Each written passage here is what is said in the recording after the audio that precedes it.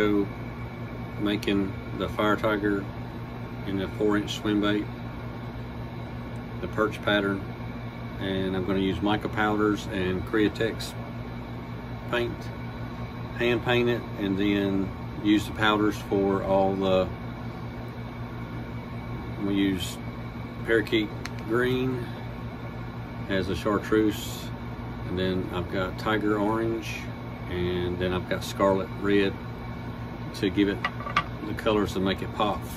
And uh, I've already done the skin pour, so now we're gonna get busy. We're gonna do the hand painting. Like I said, I've already done the skin pours on all these.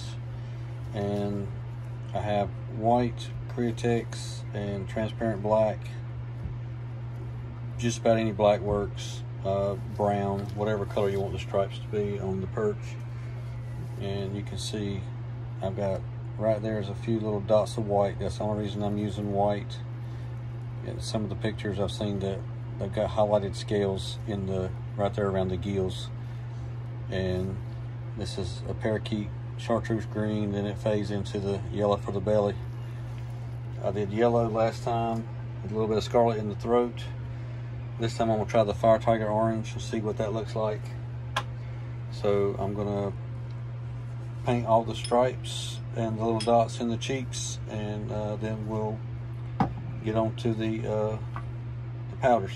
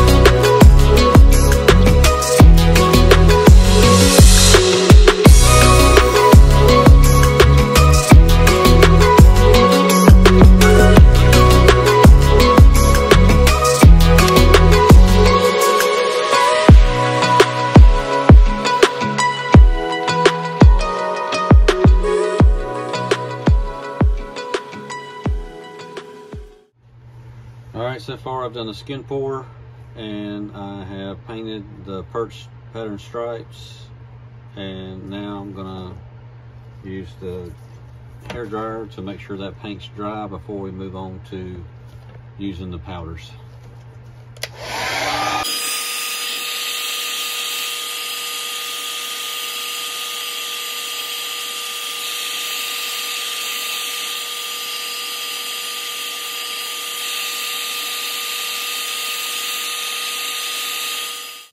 All right, just get you a brush that is fluffy and can kind of like a makeup brush. This is a paint brush, but you can use a paint brush, uh, makeup brush. And all I do is open it up and put a little bit, get a little bit on my brush, and then put it inside the lid and just dab it around, knock it off, and just get a little bit at a time because this stuff a little bit goes a long way. I know I've said that before in other videos but it really does. It doesn't take much. And you can see this has got red in the throat and it shows up a lot. So I'm just going to dab it into the throat area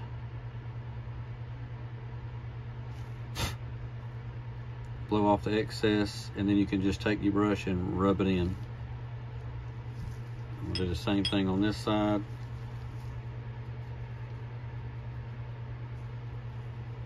Just dab it into the throat area. Need a little more, get a little more. And then you can rub it in like it's skin, just rub it in. And you want to try to make sure it's the same amount one side's got a little bit more red, so let's put a little bit more red.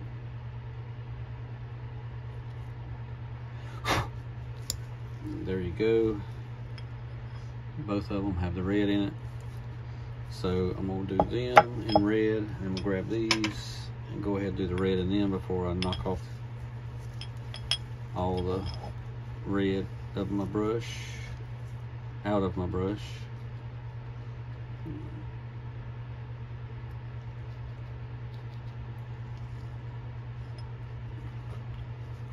Get it where y'all can see it. I don't know if y'all can see it or not.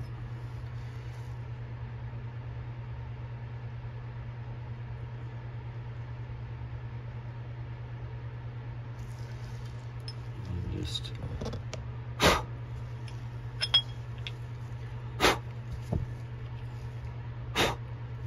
blow out the excess and I'm just knock off the rest of my brush and then move on to the next color. All right, move on to the tiger orange. Just load up my brush. And then knock it off in the cap. And that way you can just get a little bit as you need it. Because when you dip it into the the um, container you get too much. So I always use my the lid to knock it off and get a little bit back until I get just the amount that I want and so I'm to do the belly starting at the where the red's at and whatever you don't cover with the powder, it's going to show up the color that you pour behind it. And I use a mud minnow greenish brown and it seems to really work. But you can do whatever color you want in the background. So you don't want to completely cover it up with powder, you can leave a little bit exposed. Just leave a little bit exposed and then it'll show the color that you want behind it. But this stuff right here really does shine. It's just ground up glitter pretty much. Just keep dabbing and get it as much as you want or as little as you want. We're doing the tiger orange on the belly all the way down to the tail. And I'm rubbing it in like it was skin kind of like a woman's putting on makeup. And just keep doing that. And I'm not going to bore y'all with doing these other two and we'll be about right back when I do getting ready to do the green parakeet green. And I'm getting a little bit on my brush and I'm dropping it in the lid loading it up. So I've already done all the colors. The only thing left is the green. So if I go too much it doesn't matter because it the orange and the red is going to show. This is going to be in the background. You won't see it. And it'll help blend it. I do want to say I got these off of Amazon. Just look up that brand. And let's start dabbing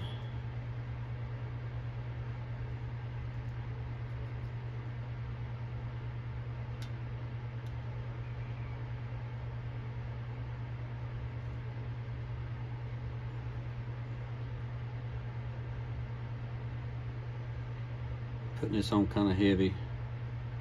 I really want that chartreuse green to show up.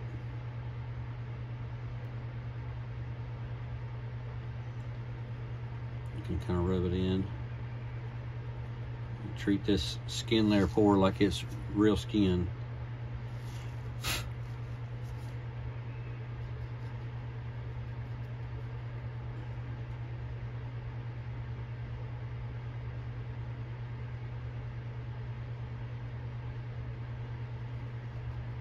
You pour the plastic, the hot plastic, All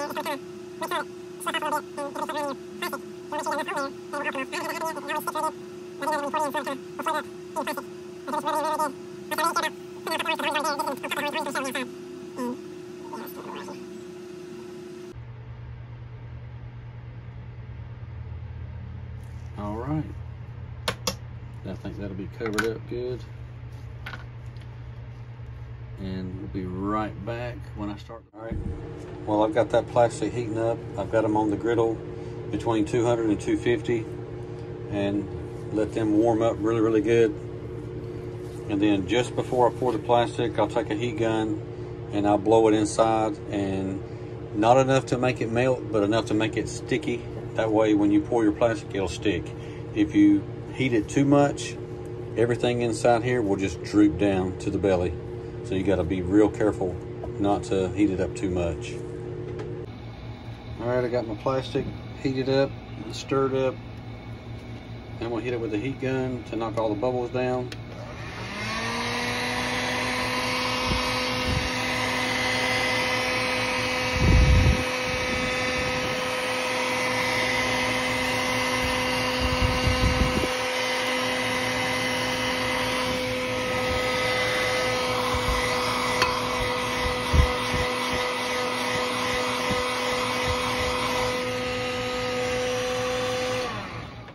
All right, got my plastic ready. Start in the tail. I've already hit it with a heat gun. Let's pour it all in here. Fill it all the way up.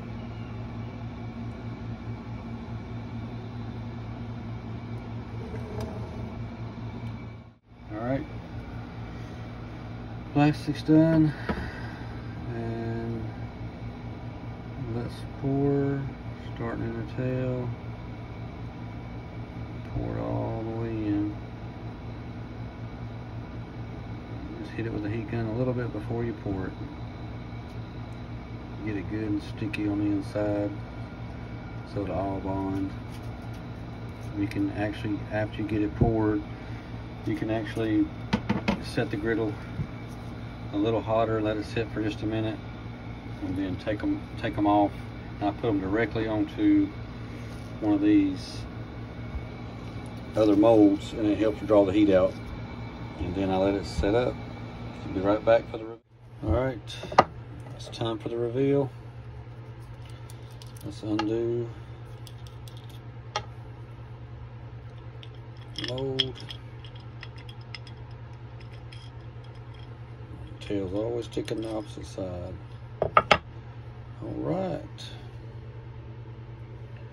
There you go. Green to tiger orange, red in the head. See how the color in the background shows up right there. And I did forget to put the little white dots on these, but I didn't in the others.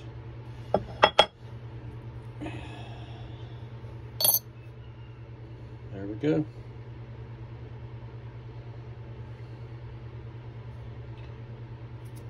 Some people put a little bit of white in the tip of the tail. So when the tail's moving, it catches their eye. I did these without that. I think it turned out pretty good. See what the other one looks like.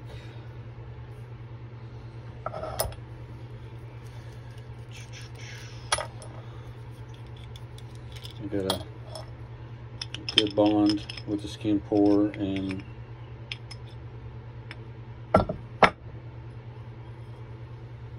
the pour. There's no cold cracking or nothing like that.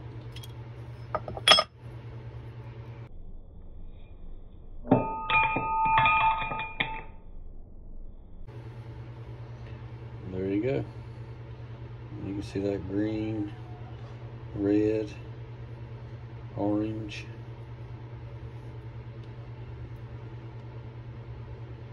Fire Tiger. Well, I hope you liked the video. Had a little bit of camera difficulty. Everything was getting heated up. So these are the ones I poured tonight. And you can see the green, Fire Tiger orange, red in the head. And I think they're gonna work really, really good. And these are the ones, I've already put eyeballs in them. And they're a little bit darker on the, because right here I put a little bit of graphite black powder on the very top and it dulled down some of the colors. That's the reason I didn't do it this time.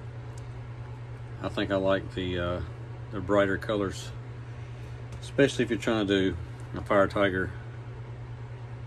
That's, that's what these are.